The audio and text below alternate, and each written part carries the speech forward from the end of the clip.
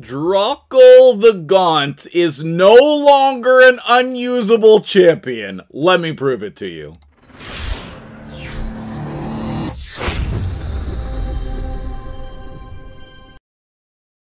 What's up guys, MTG Jedi here. How you doing today? The problem with Drokgul is that basically I've thought he's unusable. I never recommend anybody to use him, but that all changes today. I'm very excited to share some stories, show some builds, and tell you how Drokgul is going to change your account, especially for hard Fire Knight. You heard me right! Stick around, this is gonna be a spicy one. Now, let's take a look at his kit real quick, because you're probably saying, what are you talking about, Jedi? On the A1, he has a single hitter with a small chance to place a stun. Not a very good ability. On his A2, he places increase attack, increase defense on all allies. He also places block damage if they have less than 30% HP. Seems alright, and it is just that, alright. Then his A3 places a shield buff equal to 15% of his max HP on all allies for 3 turns, which is great. This is an actually a decent ability. Now, he also has a passive effect on this a3 that heals each ally by 15% of his max HP when a shield buff placed by this skill is removed or broken by an enemy attack. And that's usually as far as we make it into his kit. However, allies whose shield buffs are broken will also counterattack the enemy that breaks the shield your whole team gets counterattack when they break the shield. That is mind blowing, and we're going to utilize that in Hard Fire Knight. Also, it's going to uh, heal instantly. Uh, when the shield is broken, the heal occurs instantly before any remaining damage from the shield breaking attack is taken. So all of that goes together really, really well. This guy might be exactly what you need on your account. Okay, so let's take a look here. I want to actually compare Drokgul today to freaking Valkyrie, guys. Okay, and I know that that sounds insane, but you're gonna see he is taking the place of Valkyrie in this hard Fire Knight team. Okay. Well, how did this all come about? Okay.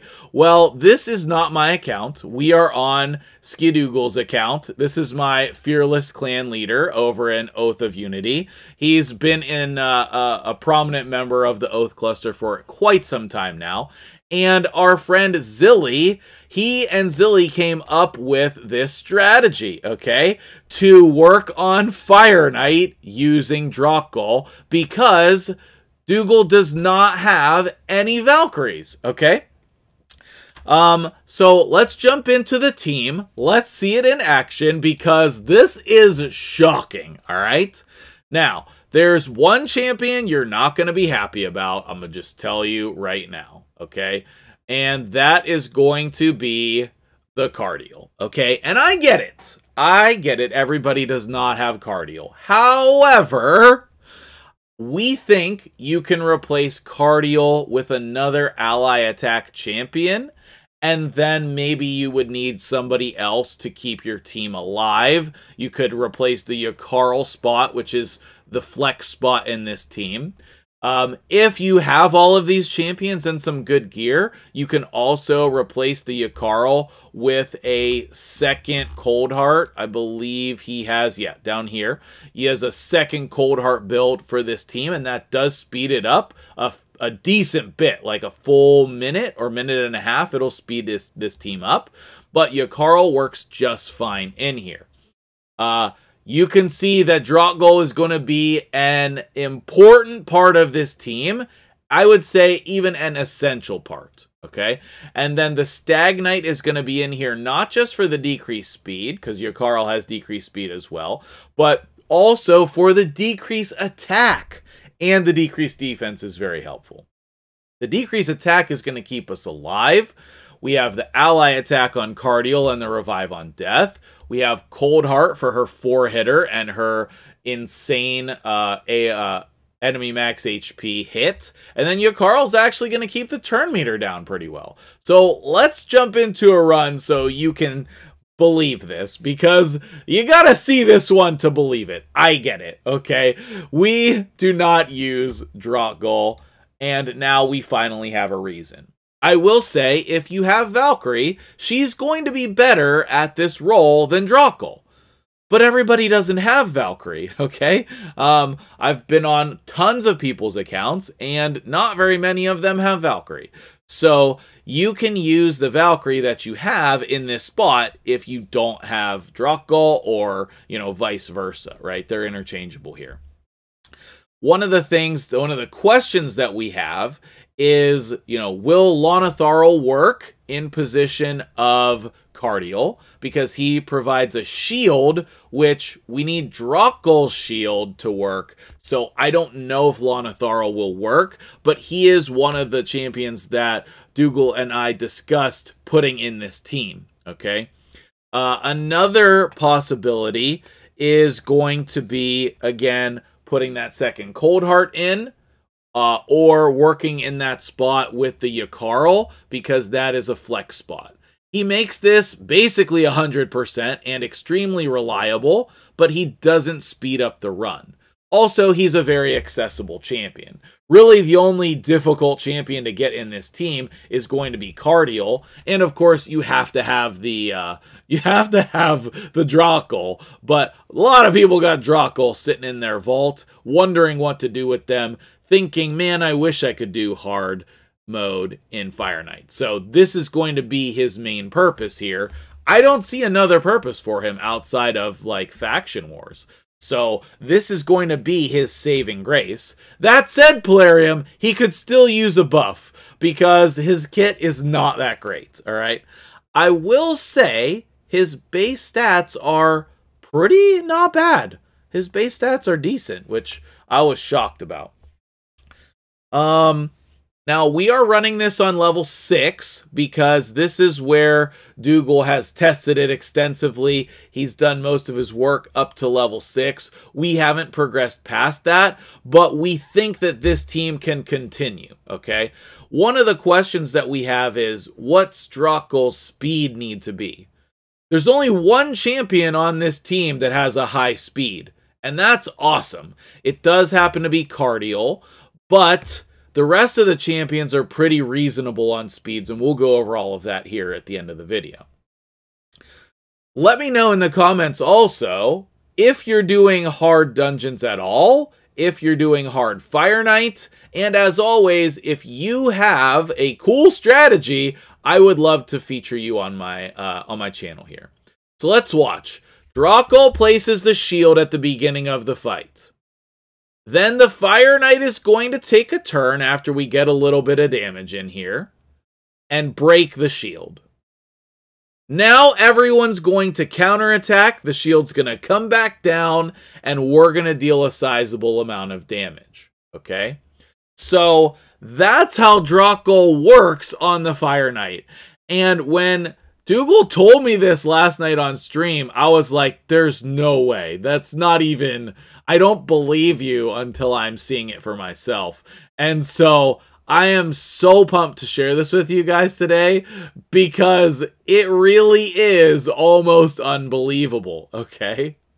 I'm just shocked by Drokgul in a hard, like, end game content using Drokgul is absolutely amazing.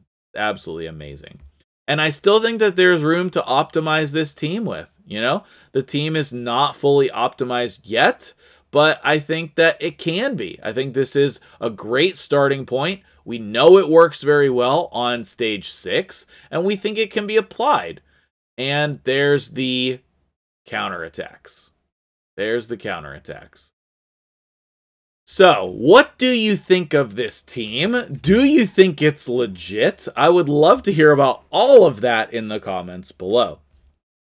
Um, I think that that's all the information that I needed to make sure that I share with you about this team so far. So we're going to watch through this and chat a little bit more about um, the team and some other things as well. And then we'll take a look at the builds, okay?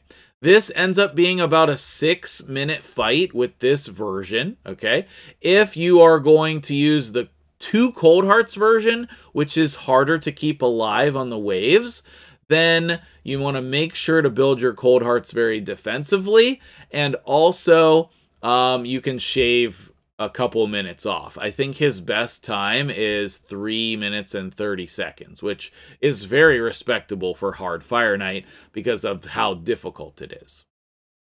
But you can see here, we're not really in any danger of losing, okay? And the decrease attack that we place on the boss from Stag Knight, if we can get it in there, protects us against getting critted. Um, finally, I want to mention that the majority of these champions are not uh, ascended with blessings. And so if you have those on there, that's going to make this team even better. So that's a possibility for you as well if you have those types of things on your account and we are give there's the decrease attack on there. So that's great as well. I'm surprised that the Yakarl version is a lot slower than the second Cold Heart. I would think the Yakarl is going to get us through the waves a lot faster, even if the boss is a little slower, but the second Cold Heart made such a significant difference. Uh, it's just that it's quite a bit more unreliable. You know, there there is a chance to fail with the two cold hearts at the moment with his builds. Um, the the last thing that I want to mention here as we're wrapping up this fight is, well, uh, is it worth it to farm this dungeon like this?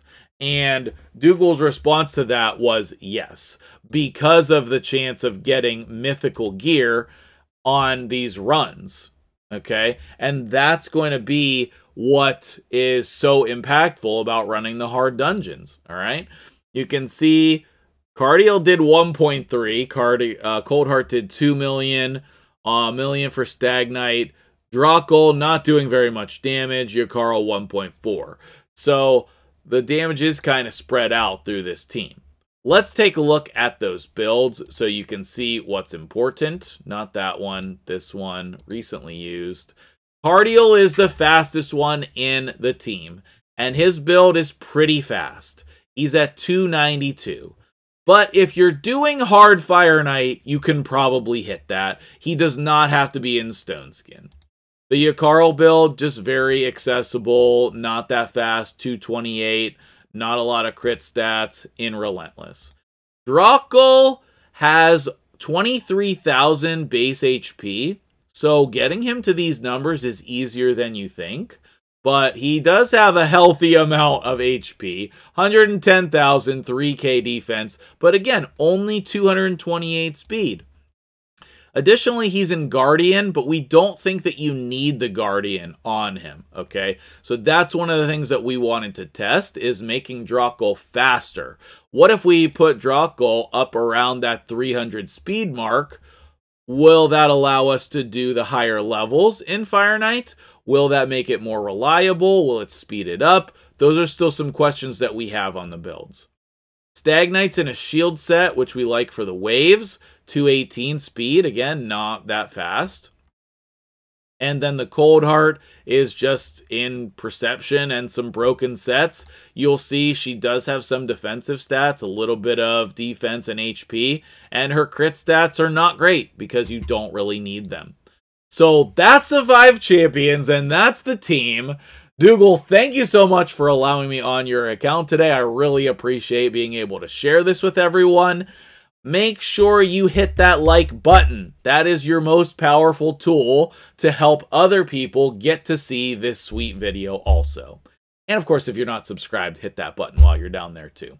Thank you so much for watching this Drokgul the Gaunt showcase in Hardfire Knight. I hope you have a wonderful day and you enjoyed this video. Until the next one, have a great day.